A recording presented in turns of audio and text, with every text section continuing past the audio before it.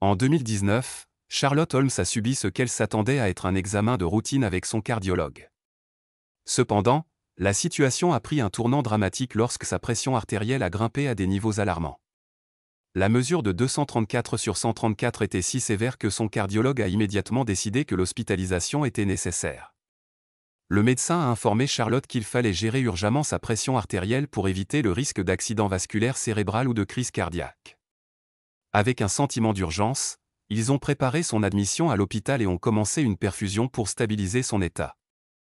Pendant cette période critique, le mari de Charlotte, Danny, est resté à ses côtés, essayant de lui offrir du réconfort alors que l'équipe médicale s'affairait à gérer l'urgence.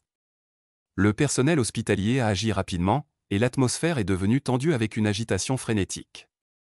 Cependant, Charlotte a commencé à vivre quelque chose d'inhabituel.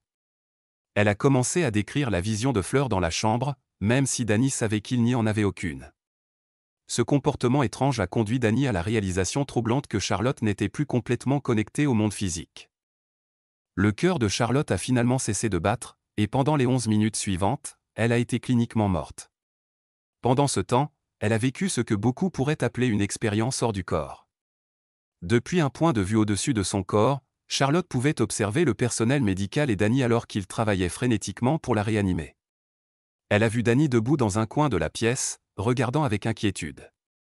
Alors que la scène se déroulait devant elle, elle a ressenti un sentiment de détachement et d'émerveillement, qui s'est bientôt transformé en quelque chose de bien plus profond. Lorsque Charlotte a rouvert les yeux, elle s'est trouvée dans un lieu de beauté à couper le souffle qu'elle ne pouvait décrire que comme le paradis. L'environnement autour d'elle était époustouflant, rempli de verdure vibrante et d'arbres qui semblaient se balancer doucement en harmonie avec une musique céleste. Tout autour d'elle irradiait un sentiment de paix et de joie, et elle a ressenti un bonheur pur et écrasant. La musique du paradis, a-t-elle noté, semblait être une expression universelle de vénération, l'enveloppant dans un profond sentiment de tranquillité. Charlotte a été guidée à travers ce royaume céleste par des anges, qui l'ont conduite à travers des scènes de beauté inégalées elle a rencontré des membres de sa famille décédés qui l'ont accueillie avec chaleur et familiarité. Parmi eux se trouvaient sa mère, son père et sa sœur, tous apparaissant jeunes et vibrants, contrairement à leurs apparences vieillissantes et fragiles sur Terre. Malgré leurs apparences transformées, Charlotte les a immédiatement reconnus. Leur présence était réconfortante, et elle a été frappée par la différence d'apparence, libérée des maladies et du vieillissement de la vie terrestre. Puis, Charlotte a vu quelque chose qui l'a surprise. Derrière ses parents se tenait une lumière incroyablement brillante que c'était presque impossible de regarder. Elle savait instinctivement que cette lumière représentait son Père céleste. Aux côtés de cette figure radieuse, elle a vu un tout petit, qui au début lui semblait inconnu. Elle s'est demandé qui était cet enfant, pour n'entendre qu'une voix, la voix de son Père céleste, lui dire que c'était son enfant perdu. Charlotte avait perdu ce bébé lorsqu'elle était enceinte de cinq mois et demi, et l'enfant avait disparu depuis. Malgré le long passage du temps, au paradis, son enfant était devenu un tout petit, illustrant la nature intemporelle du royaume céleste où la croissance et le changement continuent au-delà des contraintes terrestres. Après cette rencontre poignante, Charlotte a été montrée un contraste frappant avec la beauté du paradis. Dieu l'a emmenée à une vision de l'enfer, un lieu rempli d'une odeur grotesque de chair en décomposition et de cris agonisants. La dureté et le désespoir de l'enfer étaient presque insupportables, surtout après l'expérience sereine et glorieuse du paradis.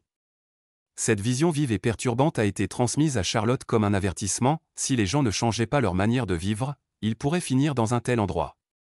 La vision n'était pas seulement une révélation mais un appel à l'action, Dieu indiquant que Charlotte avait la chance de revenir à la vie et de partager ce message important. Aussi rapidement qu'elle avait ascensionné au paradis, Charlotte a senti son esprit être ramené dans son corps. La sensation de retourner à sa forme physique était brusque, elle a ressenti la douleur physique et la tristesse dont elle avait été exemptée pendant son séjour au paradis. Danny, qui avait attendu anxieusement, a été soulagé de la voir cligner des yeux et retrouver connaissance. Le moment de son retour a été accueilli avec un immense soulagement et de l'espoir, et Danny savait qu'il pourrait la ramener chez elle. La récupération de Charlotte a été remarquable. Après deux semaines à l'hôpital, elle a été sortie en bonne santé. Depuis son retour, elle s'est consacrée à partager son expérience extraordinaire avec les autres. À travers des apparitions publiques et des interactions personnelles, elle offre un message d'espoir et de réassurance. Charlotte souligne la réalité du paradis et la promesse de la vie éternelle, encourageant les gens à avoir foi et à trouver du réconfort dans les assurances divines qu'elle a vécues de première main. Son histoire est devenue un phare d'espoir pour beaucoup, renforçant la croyance en une vie après la mort et l'importance de la foi spirituelle. Le témoignage de Charlotte souligne la nature profonde et transformative de son expérience et son engagement à répandre le message de l'amour de Dieu et de la réalité du paradis.